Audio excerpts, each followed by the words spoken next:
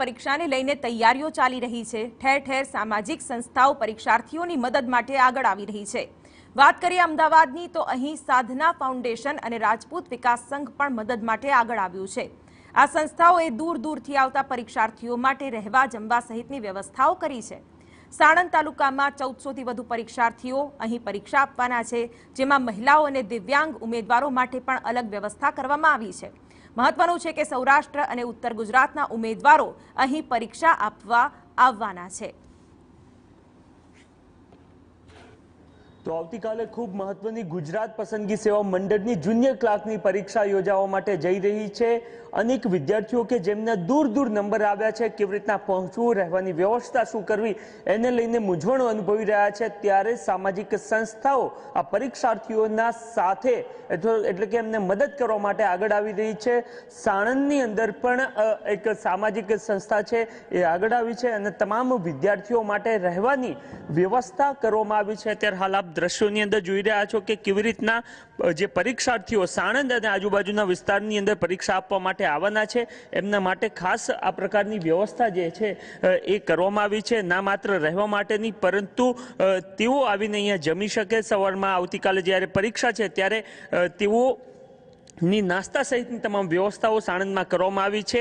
સંસ્થા સાથે જોડાયેલ આપણી સાથે છે, એમની સાથે વાતચીત કરીએ જે કયા પ્રકારની વ્યવસ્થા સાણંદમાં જે પરીક્ષાર્થીઓ આ પરીક્ષા આપવા માટે આવવાના છે, એમના માટે કરાઈ છે?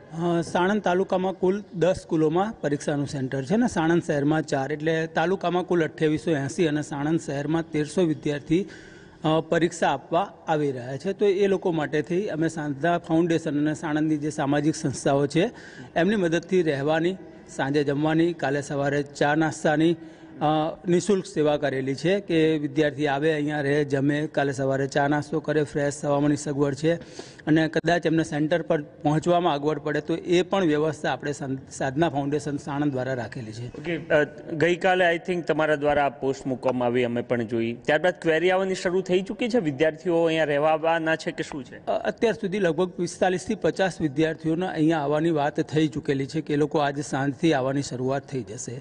અને એ સિવાય પણ જે હજી જેમની સુધી મેસેજ નથી પહોંચ્યો એ માટે થઈને અમે સાણંદ બસ સ્ટેન્ડે પણ અમારું બેનર લગાવવાના છીએ.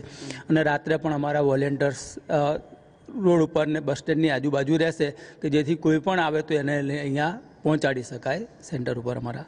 ઓકે, તો એક પરીક્ષાર્થીઓ, રાજ્યના લગભગ નવ લાખ કરતાં પણ જે વિદ્યાર્થીઓ છે એ આવતીકાલે પરીક્ષા આપવાના છે અને દૂર દૂર વિસ્તારોમાં એમના નંબર આવ્યા છે ત્યારે એમના મદદ માટે આ પ્રકારની અનેક સામાજિક સંસ્થાઓ સમગ્ર રાજ્યભરમાં સામે આવી છે અને પરીક્ષાર્થીઓ કેવી રીતના સારી રીતના આ એમની જે મહત્વપૂર્ણ પરીક્ષા આપી શકે, કોઈ રહેવામાં અગવડ ના થાય એ માટે સંસ્થાઓ જે છે એક સામાજિક જવાબદારીઓ નિભાવતી જોવા મળી રહી છે.